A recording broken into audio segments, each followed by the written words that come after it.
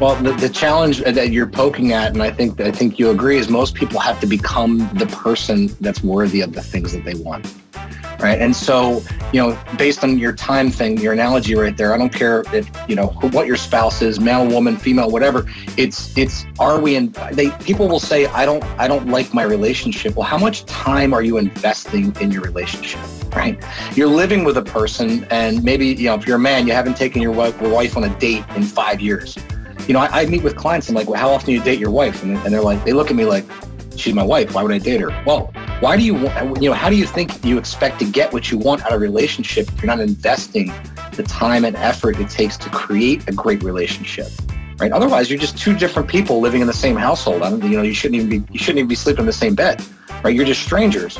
And so, really, that time blocking is not time blocking just for productivity for income, which is important, but are you blocking time for your kid's soccer game? Are you blocking time to take your wife on a date? Are you blocking time for family barbecue on Sunday?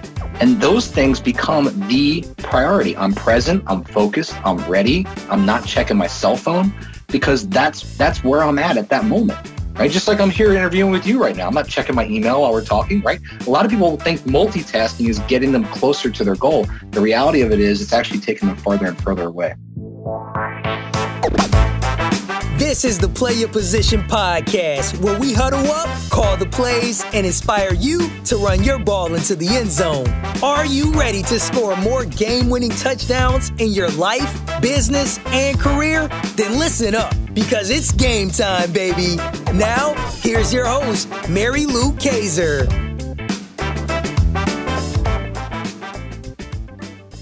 Hello, hello, Team PYP. Mary Lou Kayser here. Welcome to another episode of the Play Your Position podcast, where we discuss what it means when we say yes to the call to leadership. And today is no exception. I have a phenomenal guest who is suited up and ready to take the metaphorical field and share with us his journey as a leader um, in different parts of his life. His name is Joe Evangelisti and he is coming to us from New Jersey. So, Joe, are you ready for kickoff? Absolutely. Let's do it. All right. This is what I know about Joe, guys. Uh, once known as the Flip King, Joe Evangelisti is now the host of the Legacy Blueprint podcast, and he is a leading expert in real estate investing, specifically in the self storage industry. After experiencing burnout from chasing single and multifamily deals, Joe walked away from his wildly successful flipping empire and transitioned to the world of self storage.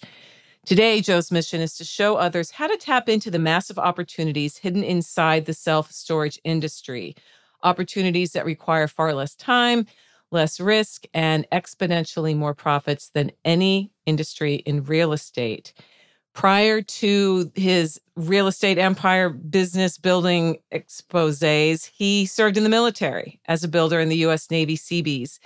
He's been recognized by Bill Clinton. He has won numerous service medals. And like I said, he lives in New Jersey with his wife, Ashley, and two wonderful girls. And Joe, thank you so much for making time to come and share your story here at the Play Your Position podcast. Absolutely, Mary Lou. Thanks for having me. Yeah. So, right out of the gate, listeners like to have some context about mm-hmm. you. Would you share with us your story about when you got that call to leadership, Joe? How old were you? What was going on in your life? Was it a moment of inspiration or was it more gradual? Yeah, I think it, you know it's funny you asked me this earlier, and I think it's I think it happens sometimes. So right after high school, I had I had a, a call to serve first. Right, I wanted to, I knew I wanted to serve the country. I knew I wanted to be in the military some way somehow, and I had the the good fortune of uh, a a foreman at the time that I was working for. My dad's general contracting company was a retired uh, senior chief in the Navy Seabees. And uh, the Seabees are the construction battalions uh, of the Navy. A lot of people don't know that they even exist, but you know they, they run around, they build stuff, and they do it all by by plane. We don't see any boats or ships or anything like that. Okay. And uh, you know, so so this this uh, this guy at the time, his name was Dave, had said to me, you know, you can be a builder, and I and I grew up around construction. I love construction. My dad was a contractor, and you know, I, he said, you know, you can serve in the military and do construction. Uh-huh. And I uh-huh. thought to myself, tell me, tell me more about this. Because at the time I, I had no idea, you know. And so inevitably, uh, with his help, I was able to do a delayed entry program. And uh, just about right out of high school, I um, went into the, the military. I went into the U.S. Navy Seabees. And I think almost immediately I felt that call to leadership in boot camp. I mean, immediately when I got surrounded by, you know, a, a group of folks that were, you know, ready, willing, and able to create – uh, team and connection and environment, it was, you know, I just kind of automatically got the calling for it and um, was able to really kind of lead, be one of the leaders inside of my boot camp division with a hundred and some, you know, folks in there. And, uh, and, and actually got meritorious advancement out of boot camp, which is, you know, their way of saying like, Hey, thank you. You did a good job or, or whatnot, kind of a pat on the back. So I think that was probably the calling right there in boot camp when I first started. Okay. Yeah, that's interesting. I've never heard of the Seabees. And mm-hmm. my brother has been a general contractor since he was 18. So I have a real affinity towards people who build things, especially houses and really awesome buildings and renos and stuff like that. So mm-hmm. that's that's cool that you were able to make that connection and um, also have the experience that the military only the military can give people. You know, when yep. it comes to to shaping your your the rest of your life. And so you transitioned out of that and entered real estate right away or was that more gradual too?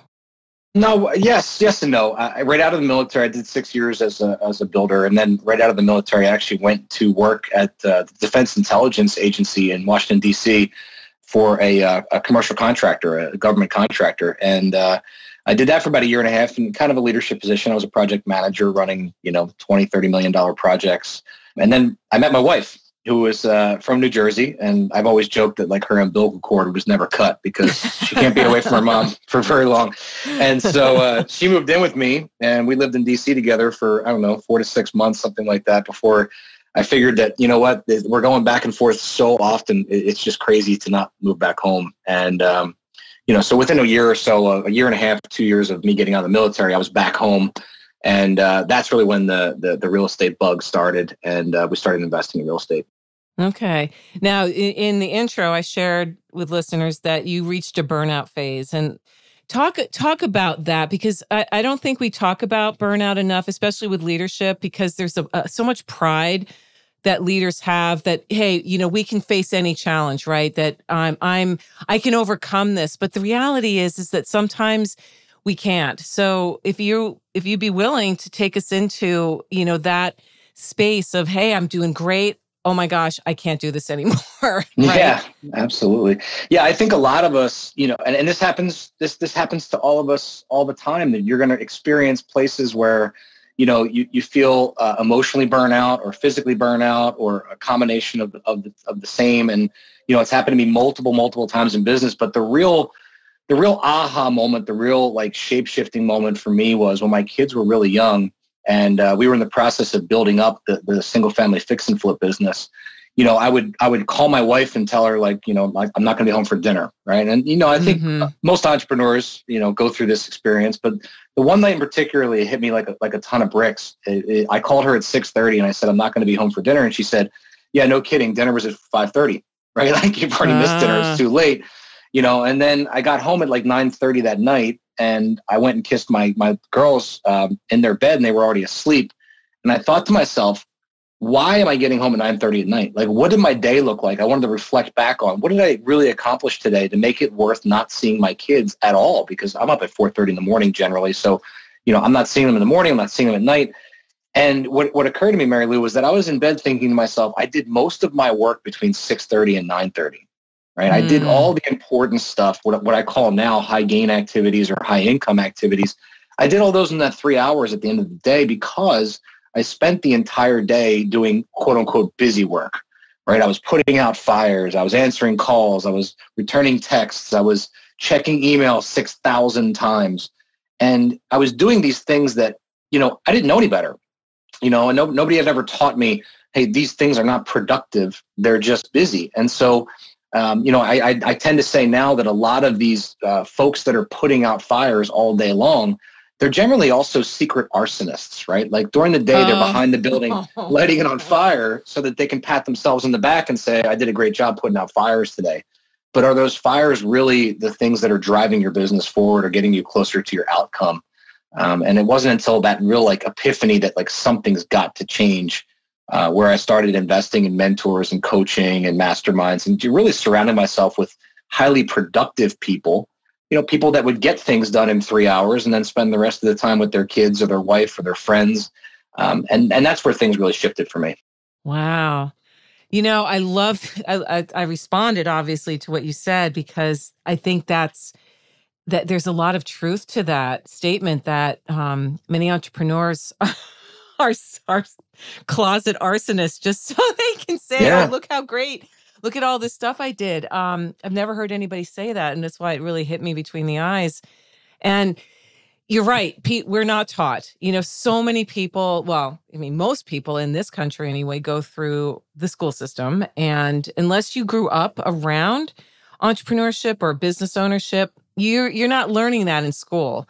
It's mm. only it's only because you were either called to do it or you know like for yourself you got out of uh, the military and you know hey let's try this right uh, you've heard the good things about x y or z and to lose the time with your children or a spouse or wh- whoever um, you can't get that back you can always make money but you can't mm. make more time mm, right preach and, it, preach yeah it. Yep.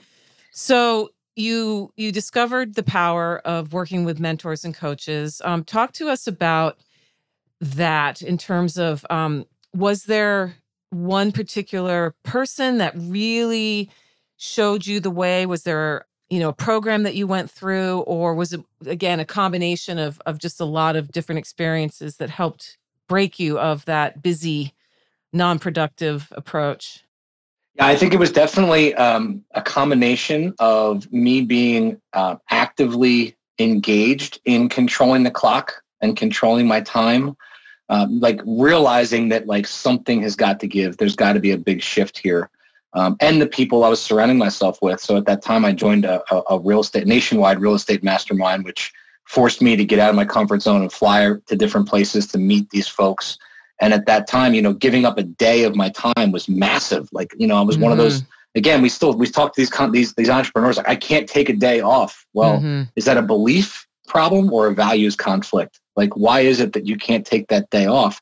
And a lot of people, when they really answer that question, it comes down to ego, right? Again, we're, we're out there setting fires so we can pat ourselves in the back and that's all ego based you know what's the point of working from 6 a.m to 6.30 p.m and, and not and get not doing anything when the reality of it is when you boil it down the important stuff could be done in a few hours a day and so controlling that clock i love that you use football analogies because i use football analogies like what are the best you know sports people in, in you know look at Tom Brady. What does he do? He controls the clock. If he's down by 21 points in the third quarter, like you don't see Tom sitting on the sidelines with his head down between his legs saying, "Oh, it's all over. What's the point?" Right? No, no, you don't, he, he, or you no. didn't, or you didn't. You never do, right? I mean, you know, I got to I got to update my analogy now that he retired a few weeks ago. But you know, the idea behind that is he knows that if I run the ball, drain the clock. If I throw the ball and I get it, you know, a long pass, maybe we'll score and I'll, I'll get it, you know, turn the ball over. Uh, defense will turn the ball over and control it for me and he stays in the game. Well, the best performers that are controlling their life clock are the ones that stay in the game. We have this rule called the rule of 168. And really what that means is there's 168 hours in each week. And every one of us on earth living, all of your idols, all the people you've looked up to, all the people you've wanted to emulate, they all live by the same rule. Like Tom has 168 hours a week. Oprah and Elon Musk and and and you know Mark Cuban, they all have 168 hours each week. So why is it that some people reach levels of achievement that are unheard of, and some people wake up decades later and wonder why their life hasn't changed? And mm-hmm. it's all about where we're putting our time and our effort in these high gain activities or high income activities. You know, going to work and not making income is, is not productive, right? It's not mm-hmm. good for your family. It's not good for your team. It's not good for the people around you same as not putting time into your body and your mind and you know spending time breaking a sweat each day and spending time journaling and spending time meditating and, and making sure that you're mentally and physically prepared for the achievement of success that you want to get to mm-hmm. and so you know a lot of people wake up unfortunately you know like i said sometimes decades later and they say man i wasted so much time and i didn't I, and i didn't do the things that were necessary to get me where i wanted to go you you had said something a minute ago was so profound, and and, I, and I've said this multiple times. Like my kids are now nine and twelve, right? I mean, mm-hmm. I'm not mm-hmm. having more kids, but I'll never hold a three year old again. Right. You know, I'll, I'll never have my five year old, you know, jump up into my arms because they're too big to pick up now. You know, my nine year old's barely, barely big enough to pick up and, and she's tiny, you know, so mm-hmm. it's, you're not getting that time back. You're not getting five years old. You're not getting the four year old birthday candles. You're not getting their first time on a two wheel bike. It's not happening again. So if you miss that, it's lost. Mm-hmm. It is. It is. Yeah. My my oldest just turned 26 yesterday. So let me tell you. Let yeah. me tell you, it it flies by. And, you know, and I think um not to I think for for fathers versus mothers, you know, depending on the dynamic of the of the marriage or the arrangement, whatever it may be, you know, when you have children and, and one of you is a business owner, you're both business owners, you know, it it comes down to what you were just saying is looking at how much time you have each week and making decisions about how am I going to allocate my time. And a very good friend of mine once said her mother taught her, she said, Mary Lou, you can get so much done in an hour, way more yeah. than most people think. And I'll tell you, you can, but you oh, have absolutely. to set your mind to it. You yeah. have to like, you know, it's amazing to me how many people do just just languish because they don't have a sense of time and, and they don't have their priorities straight. That's another piece is, you know, we can talk about success all day long, but there are actually people, Joe, that don't, they say it, oh, yeah, I'd love to have that, but they'll never get it because they'll never get clear about what it is they really want. Well, the, the challenge that you're poking at, and I think I think you agree, is most people have to become the person that's worthy of the things that they want. Yes. Right. And so, you know, based on your time thing, your analogy right there, I don't care if you know what your spouse is, male, woman, female, whatever. It's it's are we in? They people will say, I don't I don't like my relationship. Well, how much time are you investing in your relationship? right? Mm-hmm. You're living with a person, and maybe you know if you're a man, you haven't taken your wife on a date in five years you know, I, I meet with clients and like, well, how often do you date your wife? And, they, and they're like, they look at me like, she's my wife. Why would I date her? Well, why do you want, you know, how do you think you expect to get what you want out of a relationship if you're not investing the time and effort it takes to create a great relationship? Mm-hmm. Right. Otherwise, you're just two different people living in the same household. I don't, you know, you shouldn't even be, you shouldn't even be sleeping in the same bed. Right. Mm-hmm. You're just strangers. And so really that time blocking is not time blocking just for productivity for income, which is important, but are you blocking time for your kid's soccer game? Are you blocking mm-hmm. time to take your wife on a date? Are you blocking time for family barbecue on Sunday? And those things become the priority. I'm present, I'm focused, I'm ready. I'm not checking my cell phone because that's that's where I'm at at that moment. Right? Just like I'm here interviewing with you right now. I'm not checking my email while we're talking, right? A lot of people think multitasking is getting them closer to their goal. The reality of it is it's actually taking them farther and further away. It absolutely is. I mean, there's science that says we can't multitask. It's a it's a complete fabrication, and yep. uh, you know, I agree 100 percent with you about it's not just it, it. The blocking has as much to do with the rest of your life as it does with your work, whatever your work mm-hmm. happens to be, and. Mm-hmm. Again, it comes down to being clear about what it is you want your life to look like, and not, not there's not not a class on that when we go through school. and unless no. you happen to be lucky with parents that model that for you, or you get a great teacher or coach along the way who talks about life things, not just subject matter things. Um, many people don't ever learn the lesson. And they do wake up one day in their 50s 60s 70s and say what what what did i do with my life? Now i'm a firm believer that it's never too late right? That mm. you can i just talked to a guy earlier today for this show who was 50 and he didn't have mm. a bad life. He said he didn't have a bad life but he had he woke up at when he was 50 and said why am i not where i want to be? He wasn't married. He wanted to get married. He wasn't making the money he wanted to make blah blah blah. And he dove into Think and Grow Rich and mm-hmm. really took that book seriously. And he said within a couple of years, he met the the woman of his dreams and married her. Became a six, uh, excuse me, a seven figure uh, business owner. Now he's teaching some of the most elite college football coaches in the country. Mm. And he said it was all because I made the decision. I didn't like my life. and yeah. I wanted a better one, you know? And, and guess what? That's that's the precipice for most of my coaching clients. I can't tell you how many clients I've taught that were, you know, 10, 12, 15 years older than me. And their their biggest their biggest drawback is they don't live the life that they think they deserve. Mm-hmm. Right? They don't think they're living up to their true potential. Mm-hmm. They don't, and the time is growing short. Well, here's the truth: we don't know how much time we have. No, we don't. We don't know if you're going to be here 60 years, 70 years, 40 years. We don't know. No. So you know, when we let this time drag by, it's not it's not helping us create. And and the gentleman you're speaking about, he made the decision to start to live an inspired life. Mm-hmm. And that's truly something to, to it's amazing to witness when people make that committed decision to invest in themselves and to live an inspired life, an intentional life, and, and doing it with intentional actions instead of just kind of drifting by. Yeah, it's true. It's halftime here at the Play Your Position podcast, and we've got ourselves a great game. While you're up grabbing another snack and topping off your favorite beverage, make sure to subscribe to the show so you never miss another play. PYP is available on Apple Podcasts, Spotify, and wherever great podcasts can be found. Now, let's get back to the game. You know, you're working in a space that most people, I imagine, when they think of real estate, don't think of. They're not like, oh, no. self storage. And yet, yeah, You, you know, you, what brought you, uh, how did you discover that this was or is um, a real, you know, pot of gold, so to speak?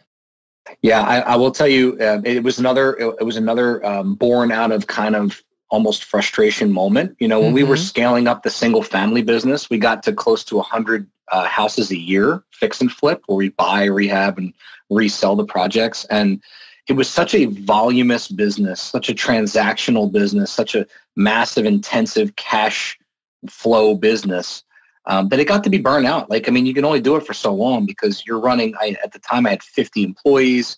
You know, we had houses closing every week.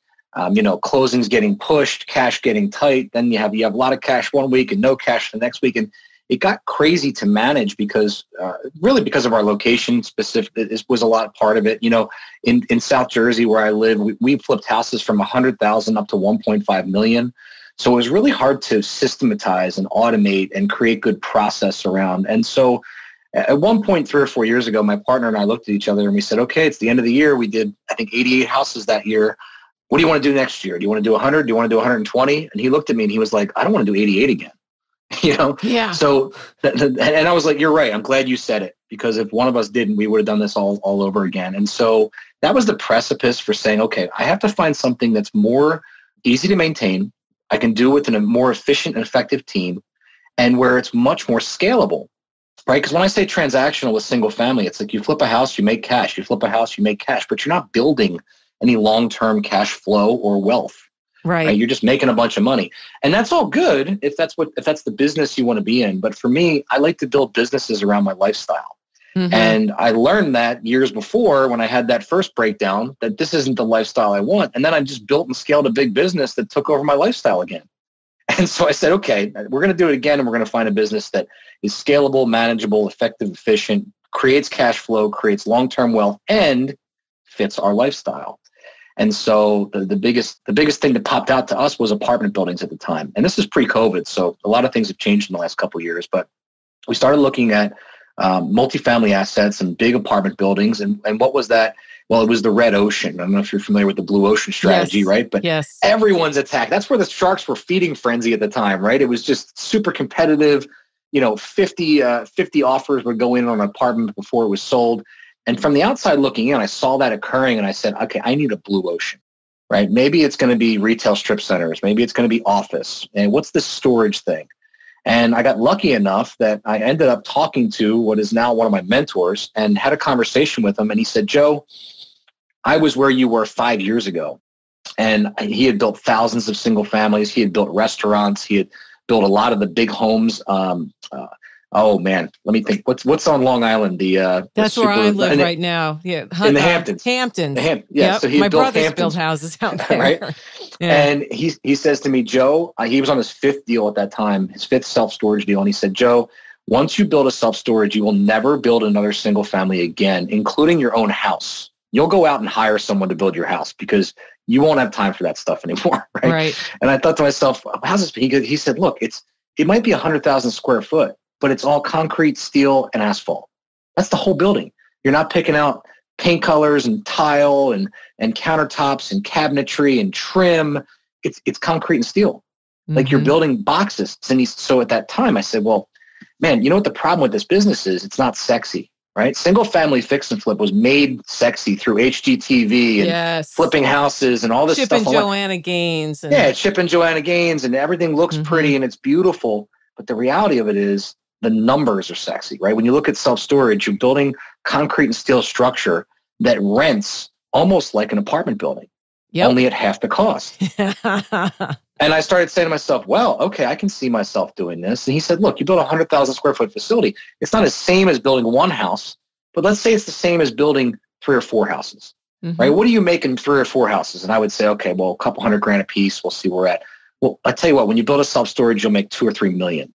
Okay, well, now my ears are perked up, right? Like, mm-hmm. okay, now we figure out how to make this happen. And so that's what led us down the road uh, of taking the, the big leap and uh, you know, the only thing that uh, people ask, and they well, we we quit cold turkey. I can't believe you did that. Well, once I saw the vision and I understood the scalability, to me there was no way to to make that shift slowly. Right? We just literally right. stopped the single family. We we're like, pause, no more purchases, sell off what's left. We're getting into self storage, and that transition was pretty difficult, but at the end of the day, well, well worth it. Yeah, yeah, there's two big takeaways from that story. The first one is the most recent, which is you recognize that this would this fit in with your big vision for your life. And yeah. so it was a no-brainer to just pull the plug. Okay. And and that is scary. That is scary is. because the the other business was familiar. You know, you knew mm-hmm. you you you could count on that. You you'd had experience. And then the other one, um, the other piece is you started that story with it was born out of frustration. And that I think for anybody listening is I think we all can we will all reach points in our journeys when it, you really have hit that literal rock bottom, whether it's because of addiction or it's because of burnout from the, the work you're doing or a, a, a really bad relationship or whatever it may be.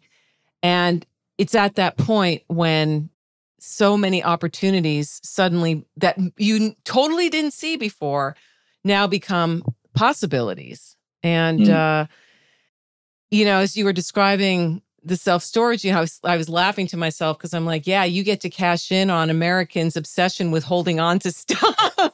we yeah. just keep so much. Oh my well, goodness. You know, pack it in. We don't have room in the house. We better go rent a storage unit, you know? Well, I'll tell you what's interesting. Uh, another thing that that same mentor said to me at the time, he said, Joe, you could take a map of the United States and throw a dart at it and build a self storage and be successful. Wow. Right. And he says, not that you should do that. Right. We want what we want to do is find the top 10 or 15% of MS of market areas, MSAs right. um, that, that makes sense. He said, but here's the thing about self storage 98% of self storages that are built become successful. Uh. Right. And if you think about that stat, it's unbelievable. I mean, I think 65% of small businesses are around in three years. You know, 98%, you put a storage there, it's going to, it's to survive.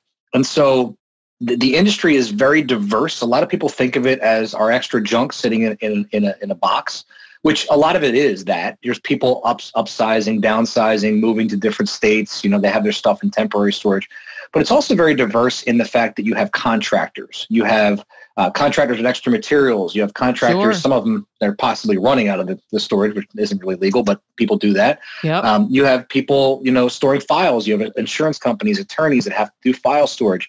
But now we also have a lot of work from home folks that have product, right? Maybe they live in a smaller apartment, but they they're selling some kind of product. So they'll rent a ah. little five by five climate controlled unit to put their products in. So the interesting thing about the, the industry, which makes it really almost bulletproof over the last 40 years, is that whatever happens trending in, in the economy, it doesn't really impact self-storage because when, you know, let's say the housing market goes down and contractors are, you know, slowing down, well, you know, something else comes and takes its place, right? Maybe people are moving and, and they're downsizing because the market's, you know, really tough. All right, well, now I need somewhere to put my stuff. You know, an inverse happens in, in a good economy. So it, it, there's always somebody to take the space, which is really interesting as long as you find the right location. Okay. So you just mentioned 40 years, right? So that's Mhm. a pretty lo- good time span. I mean, where, Mhm. as far as saturation goes, you know, uh, where where is the industry today? We're not even close to tapping into the necessary uh, in certain areas, right? Certain areas are slow to uh, ramp up. If you're in a rural area and you have a self storage, it's not going to really work as well. But the closer you can be to an urban area, especially an urban area that's increasing in uh, pop in popularity, like people are moving to Florida, people are moving to Texas, and we're building six sites in those two states alone. So you want to go where the where the action's going. You want to go where there's a diverse economy that that's employed by multiple different companies. You know, like in Atlanta, for example, um, I think you either have is it Coca Cola or Pepsi. One of those is based in I think it's Coca-Cola. Co- Coca-Cola. Yeah. Um, you know, you have you have the uh, Cancer Research Institute. You have all these major major companies in, in one local area. Mhm. Whereas if one of them moved out, it's not really going to affect the economy, right? And so uh, we like to be in MSAs that are expanding, that are diverse as far as income. And uh, you know, and, and, and when you do that, and, and you know your your your competition, you know your demographics, you know the area uh, accessibility, and all that type of thing. Um, once you know it and it's systematic, it's really not that difficult to find great sites. All right.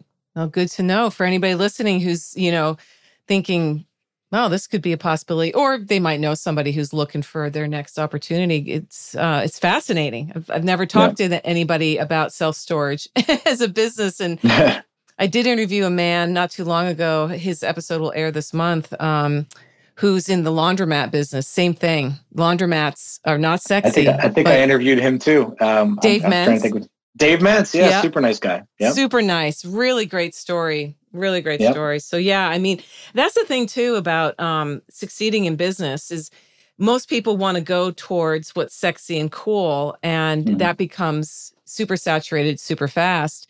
Very very hard to really be the top, you know, to be a, a, a real leader. You want to find the things that people tend to turn away from and you know, having a a brother who's in construction, you know, I've seen that the dark the darker side of life, you know, the the places that do scrap metal, for example, um, Mhm. The the reclaimed wood, you know, things that are dirty and and messy and stuff. But man, people are making bank on this. Making a resurgence, right? All of a sudden, Mhm. everybody's trash is somebody else's cash. No, you it's got it. absolutely true. Yeah, yeah. So, what about um as you look ahead? I mean, I know you've talked about you've hardly tapped into things, but you know, with the, with the way the world is, you know, we're coming out of the pandemic, but we've got some things happening on the world stage now that add to the uncertainty again. Um, Mhm. When you look into your crystal ball, Joe, uh, what do you think is going to have the greatest impact on how all of us show up and play our positions in the next, you know, five years or so? Mental toughness, I think, is the first thing that comes to my mind. Right? Is is what is our mindset and how do we control our mindset? You know, I'm a big advocate of just just don't watch the news. You know, Yeah. you control your own environment, your own economy. You control the people that are around you to a certain extent based on how you hold yourself. Um, and I think that you know the more that you get sucked into the negative and you allow your your brain to be kind of consumed by that, the more it's going to happen. Right? I, you know, the, COVID was a big wake up call for a lot of business owners. You know, I think the perception publicly is that a lot of people in business got rich because of handouts and because of, you know, PPP and UILD loans and all that kind of stuff. Or I don't know if I said that right, but, you know, I, I think it's the opposite. I think what happened was COVID created an adversity for a lot of businesses that forced them to do the things that they maybe ought to should have been doing all along Mhm. right? They they started to cut down on excess spending and office space. They started allowing their their workers to come in virtually, and all of a sudden that actually created opportunity, and then they reinvested and they grew. So you saw some companies that that did three, four, five x what they normally would do in a in a you know what most people would say is a very challenging time. Now. Mhm. I- I'm not taking away from the, co- the companies that couldn't operate because of laws or if they were in restaurant or service industry. But for a lot of us who aren't in that industry, this created an opportunity. And if you didn't take advantage of the opportunity given to you, well, then shame on you. Then maybe your maybe your mindset needs to be changed, or maybe you need to get more a little bit more mentally tough. But you know, things are going to happen. They always have, and people always win, and people always lose. You have to decide which side of the fence you're going to be on. Yep. It's so true. So true. Well, we're at the part of that show, uh, the show I call Touchdown. I was talking to you about it in the pre chat, which means Joe, I'm putting you in the red zone with less than 30 seconds left on the clock. You're down by four points. It's now or never. Tell us a story about when you helped to get that ball metaphorically into the end zone for the game winning touchdown.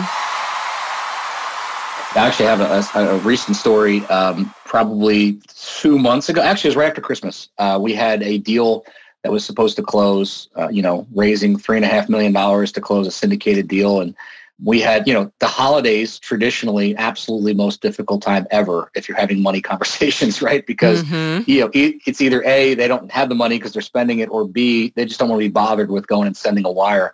So our team, which was all relying on a deal to get closed in uh, in in 2021, you know, all thought, hey, this isn't going to happen. And uh, me and my business partner literally sat on the phone for three days in a row and and brought in over two and a half million dollars to close out a deal that we didn't think was going to get done. So, you know, I, I think that you know that that's the first moment that comes to my mind. Oh, it's a great story. Yeah, because the Yeah. holidays, so many people just give up in the Yeah. holidays. They don't they don't even try. Yep. Yep. Oh, good for you guys. That's awesome. Absolutely. That's really, really great. Well, listen, for people who would like to know more about you and and the work that you do, the the coaching that you offer and the programs, where do you hang out online, Joe? Uh, they can just find me on Facebook, uh, Joe Evangelisti, obviously, uh, or they can also go to, if they want to get in the storage business, you know, we offer a mastermind group, which is really made up of four different variations. People who have no experience in real estate that want to learn how to get in the business, developers who are already doing self-storage, folks that are making that transition like myself. They want to do single family and then they want to transition into something more scalable like commercial real estate. And, and last but not least, accredited investors, folks who want to invest in these type of deals, but really want to learn more about the individual developers and builders and buyers. Um, we offer a, uh, a mastermind called the, uh, the Storage Syndicate, and it's at the storagesyndicate.com. All right, great. Yeah, the the link for that will be on your show notes page at pyppodcast.com and and I'll also link to your Facebook as well for people who want to check you out, you know, learn more about you and and and what you're about. And um before we say goodbye, what is one book or two that has made a difference to you, Joe, on your leadership journey? Yeah, the first real major book, and I read I read literally tons of books. I have audio books constantly open, but the first real big game changing book for me was actually Tim Ferriss and the Four Hour Work Week. Mm-hmm. He wrote that right when I got into real estate in 2007, and it really stuck with me. You know, I, I always referred back to that delegation and automation and systematizing and, you know, becoming more efficient. And even when I fell into those holes where I wasn't very efficient, I would always go back and say, okay, well, what, what would the book have me do? right? Like, what would the, you know, so the four hour work week is a concept and it's not really about working four hours a week, but it's like, imagine if you could, right? And, and how do you, take different retirements and different trips uh, during your life instead of waiting until you're, you know, of retirement age traditionally. Right, right. What what are you reading right now or listening to? Uh, I just got done finished. I just finished uh, reading the Deliberate Discomfort, which is a, a book uh, by Jason Van Camp. He interviews just some amazing performers, a lot of people that were in the military, talking about the, the concept of really getting comfortable being uncomfortable, which is one of the principles that I teach and I coach on, is how do we stay in that zone where we're constantly challenging ourselves? Because the work and the trials and the tribulations, the challenges, the discipline, that's what creates the happiness. That's what creates the success. That's what creates the results. And so, you know, getting deliberately discomfort is uh, discomfortable, uncomfortable is a um, is is a great, uh, I think, a great uh, ability for a lot of people. Okay, that's that's a good one. I haven't heard of that one. Yeah, the four hour work week is interesting because to your point, it's not literal, right? For not No, working. I exactly. mean, we Yeah. we get meaning from work, right? Like Mhm, there's mhm. so many people who think, oh, if I could just play golf all day or whatever. I, I can't tell you many men, particularly I've talked to, who said, you know, I was done with golf after about the third week. They're like, I need I quit. I quit four years ago, almost cold turkey. I you know club. it's Yeah, like yeah. It, it there's just something about being part of a mission of of being part of uh building something i mean we're builders you know to use your the Yeah. word you use we as humans we are here to build things whether it's families buildings uh you know met, beautiful metalworks or art jewelry Mhm. books everything you know you've written a Yeah. book haven't you Yeah, I've read. I've written four actually. I'm, Okay, written, I'm, I'm working on my fifth and sixth right now. wow so what are your Yeah. books Uh, well, so the first one was on flipping. Was, uh, it was called, it was called uh, Mastering the Art of the Flip Game. Uh, the second one was actually on um, creation of uh, you know what I call whole scaling. Back then, I was doing a lot of wholesaling of single family houses, and it's about scaling your business and, and creating out of that business. Uh-huh. Um, the sec, the third book is on self storage investment, um, creating you know great self storage investments, and um, the fourth one's going to be out any day. Oh, that's and what is it about? Coaching, creating you know creating what I call the five roads to victory, controlling the clock. You know, I love what you just talked about with controlling the clock because time freedom for a lot of people you know, they, they think it's like sitting on a beach with a margarita and watching the sunset for, for days and days in a row, right? But for high achievers like us and, and you know, you and I, it's it's it's controlling doing what you want when you want, right? So it's, you know, being where you want to be, doing what you want to do, and still being productive. Yes. And for, for time managers, you know, controlling the clock is everything. That's that's the most valuable resource you have. It absolutely is. And it also you know another misnomer about time management is not that every every single minute is planned and structured in in fact i think you know some of the best times in my day is when i'm just thinking you know like mm-hmm. that's the activity i'm doing i'm thinking or i'm i might be do, like folding laundry or or cooking a meal but it's it is part of the big vision you know it isn't this like oh when is this going to be over you know that's yep. that's a that's a big problem for people is they just want to get to the end of the week so I can relax. Yeah. Really? You're going to you're yeah. going to just blow this whole week and be miserable yep. all week just so you can get to go to the bar or whatever you're doing? That's your life? I'm oh gosh. Don't even get it's crazy. the whole "Thank God It's Friday" movement is, is nuts. You know what Terrible. I mean? It's like I, if I say "Thank God It's Monday" because I can get back to it and we can yeah. start having conversations again. Everyone, everyone's been off all weekend, so yeah, no, I, I definitely feel you on that one. Yeah, it's um, it's a it's a strange it when you're on the other side of that like but that isn't even part of my worldview i love mm. i love everything i mean do i have days i'm sure you do too where you're like wow i'm just really tired you know i'm like physically or emotionally just worn out because that's normal like our bodies uh, we're not supposed to be constantly in motion but it, it's a mindset it's like i'm going Absolutely. to rest i'm going to spend time away from my phone i'm not going to open that laptop you know? Absolutely. Oh, yep. well, Joe, this has been great. You are a fabulous guest. And thank you for sharing um, your experiences with an industry that me- I think most people really don't know much about. And all the lessons that you've learned through your life and how that each one led you to the next big achievement. And congrats on all your books and the one that's coming out. That's really awesome. Yeah, thank you so much. I appreciate you having me on. Hey team, Mary Lou here. Who's number one in football changes from year to year. Fashion trends come and go, same with musical tastes, but leadership skills, they never go out of style. In fact, these days, leadership is an essential survival skill for a world that demands more from us than ever before. To succeed these days, you need to know how to show up for yourself so that you can then do the work you love with people you like the way you want. The Play Your Position Leadership Playbook helps you do this, and it's free. Go to pyppodcast.com to download your copy today. If being more successful this year, next year, in the 21st century is on your to do list, get your copy of the Play Your Position Leadership Playbook now pyppodcast.com. It's at the top of the page. You can't miss it. That's pyppodcast.com and start being more of the leader you are meant to be today. This podcast was produced by Daniel Romeros. Show notes for this episode can be found over at pyppodcast.com. I'm Mary Lou Kayser. Thanks for listening. Here at the Play Your Position podcast, we believe that the road to self mastery and a life well lived starts with answering the call to leadership. That's when the fun really begins. Send this episode to any friends who might need to hear the inspiration and ideas you heard today. And feel free to rate and review us on your favorite podcast platform.